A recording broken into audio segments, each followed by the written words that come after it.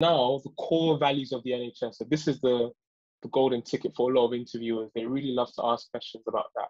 But before I show you them, does anyone want to put does anyone want to put some in the chat that they think are part of the six C's?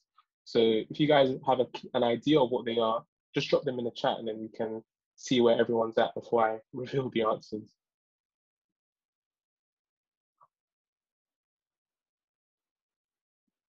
Okay. Have a look. So we've got care, yeah. Uh, compassion. So yeah, those are definitely two of them. Respect and dignity, competent, compassion, care, competence, commitment. So yeah, so far we've got care, compassion, respect and dignity, commitment, courage, communication. I think we've actually named all of them. yeah. So I think there's one that says respect and dignity. We actually come to that one.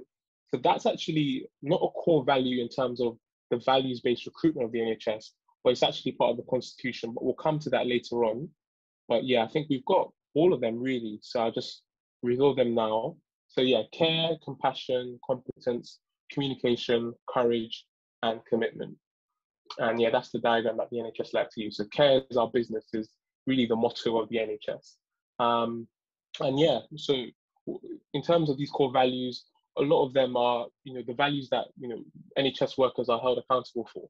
So care, compassion, and I'll be going through each of them just to make sure that you have a, a rough idea of how to speak about these core values in interviews and how you can potentially use these values to align yourself with them and talk about your own experiences. So the first one, care. So this is actually, the quotes are taken from the NHS report. So care is our core business and that of our organizations and the care we deliver helps the individual person and improves the health of the whole community. Caring defines us and our work. So as you see here, it's not only just about caring for the individual person, but it's also about how your actions can help the whole community. So if you were to align yourself with care, I think it will be really it'll be a good opportunity in your interviews to speak about your volunteering experiences and places where you've had a public facing role where you have had to have a duty of care. I think those are quite unique experiences to mention in an interview and really show that you are someone that is willing to give selfless service to the people around you. So care is a really, really big part of the NHS values.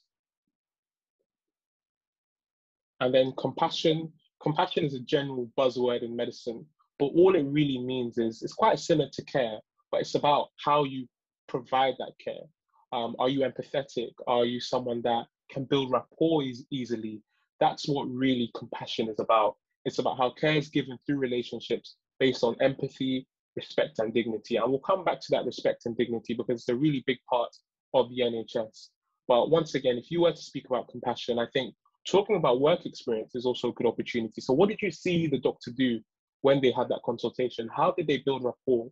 what type of non-verbal communication skills were they using all those type of things are really key in showing how compassion is something that you yourself have seen and you align with as well um, so maybe speaking about your voluntary experiences once again or even just general life experiences how have you been able to build relationships with people and then the third one competence so as you as i'm sure you're aware being a medical professional you have to be on top of of the academics. You have to know what you're talking about. Otherwise, no one will believe you and your patients won't believe you. You have to be really, really on your stuff. And competence is really just about um, having the ability to understand someone's health and social needs. So being able to formulate a diagnosis, having that clinical and technical knowledge, that means that you can be an advocate for your patient in their treatment. So in terms of you guys being able to show competence, obviously you can't show that you can make a diagnosis yet it would be through your EPQs that you've done, any achievements or prizes or extra things that you've done that have shown that you have gone above the level. So if you have any individual awards for your academic achievements, really being able to speak about that and articulate that in an interview setting is going to really make you stand out and show that you are the competent person to enter that medical school. And then communication. I think we all know the importance of communication is something that's said all the time and it's central to your role in healthcare. And just generally, you need to be able to communicate effectively. You also need to listen as well. You need to listen effectively because you know you obviously want to speak to your patient, but being very mindful of how that patient is from looking at their body language to listening what they're really concerned about a big part of medicine is you want to speak to a patient, but you want to know what their ideas of what they may be going through. What are their concerns? And maybe what are their expectations from speaking to you? You want to be able to really understand why that patient has come to you. And then from there, you'll be able to communicate effectively with them. And to show you're a good communicator, I think we all know this. You you have to essentially show that you have been in a, in a situation where you can communicate with someone, where you have spoken to someone or you've been in a team and you've been able to communicate with that team. Um, but yeah, generally showing examples of where you've seen good communication, or even when you've seen bad communication, speaking about an experience that you saw in work experience where a doctor and a patient didn't have the best relationship, being able to reflect on that is also going to be quite important in understanding that the role you have ahead of you. And then courage. Courage is a, is a really interesting one because I think courage means different things to different people. But the NHS really defines it as being able to do the right thing for people we care for, to speak up when we have concerns. It means having the personal strength and vision to innovate and embrace new ways of working. So I think that's almost two things in itself. You, you need to be courageous, you need to be brave, but you also need to be quite open-minded. And that's a big part of healthcare. You need to, you're going to be working on a team with a diverse range of people. And having an open mind is important in healthcare. Um, you know, you may not always have the the you may not always believe what someone else is saying, but being able to be receptive of their opinions is key. So I think showing where you have been courageous is possibly showing that you were examples of where you've had to be resilient, where you've had to persevere through certain things, or where you've even had to be vulnerable and reach out to people for help. That's a really good example of being courageous. And even if you're an advocate for something, if you if you believe in something strongly that you've volunteered or you've done charity work for, that's also showing that you're courageous and it's something that will make you once again stand out in an interview setting. And then finally, commitment. So commitment it's a commitment to our patients, to the role, to our populations. We need to build on a commitment to improve the care and experience of our patients. So in anything, you need to be committed. You need to be consistent and committed to the cause. So if you guys have had any extracurricular activities that you've been doing for a long time, that's just a brilliant way of showing that you've been committed to something. If you can keep at something, even when it gets tough, that shows that you are committed.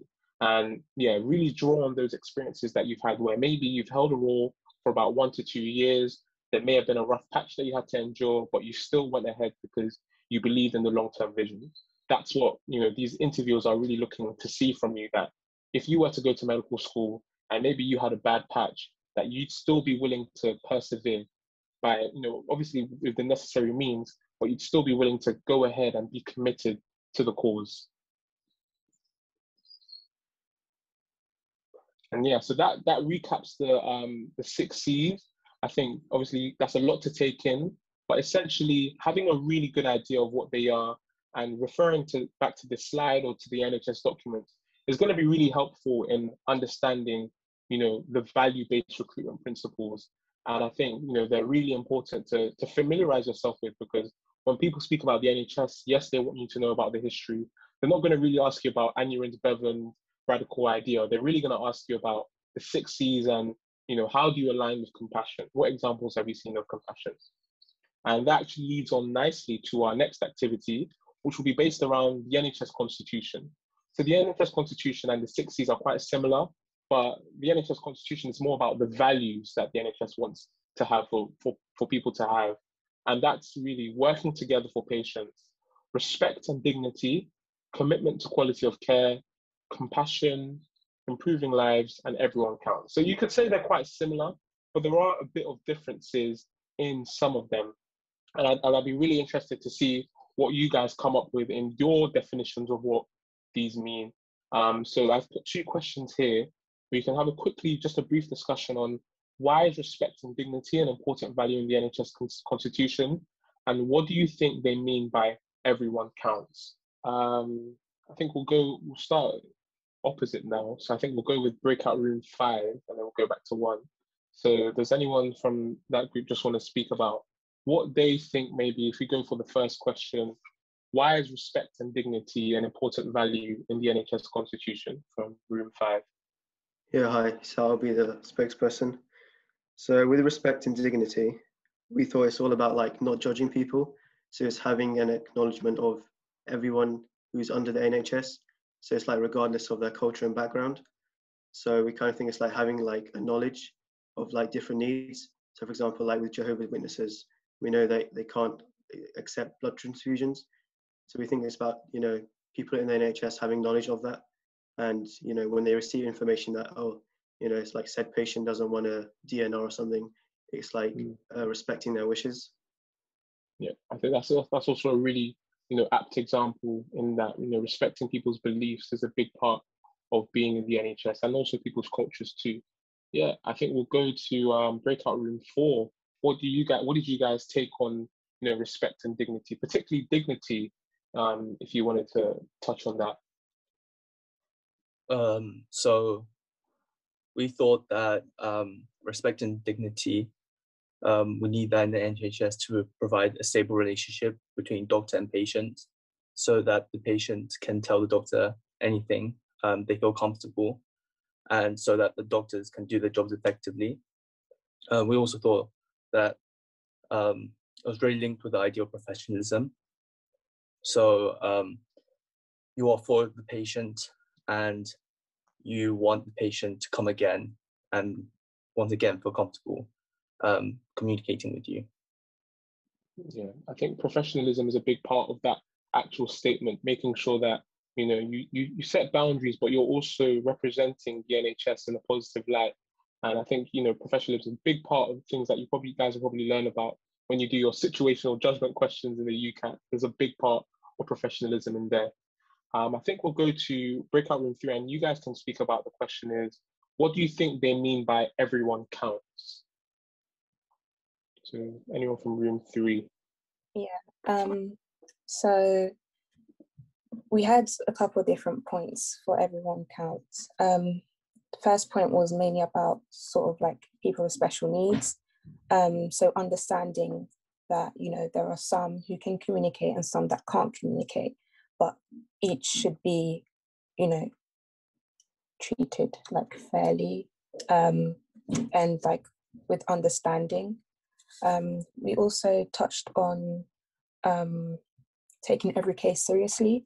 Mm. Of course, there are some cases which are difficult to sort of pinpoint, um, but sort of like giving every case a chance to receive um, the resources given out um, fairly and equally and not just sort of one group um, and you know having that chance to go further um, if there is you know a chance to go further um, so yeah I think those are those are really good points. I like the one of you know making sure that you're you're looking after everyone in a sense, regardless of their condition. You are making sure that they are looked after sufficiently. Um, I think we'll go to breakout room two as well. Um, you guys can answer any question you prefer. Uh, what do you guys think about respect and dignity? And also, what do you think by everyone counts? So you can choose.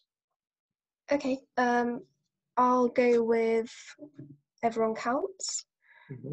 So it's it's about not belittling people's concerns um, because obviously there have been cases in the past where it might be seen as oh no it's, it's absolutely fine when actually it's not. And I think it's about learning from these points and realizing that just because someone might seem as though they're sort of overdoing it, like you have to respect the fact that they are concerned and investigate it further and provide them with the quality care that the NHS is supposed to like provide to them.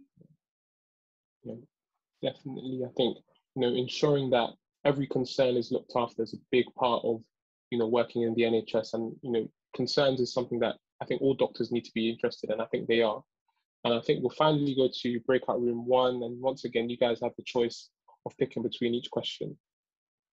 Um, I think I'm going to give an answer to both of them since they're somehow relative.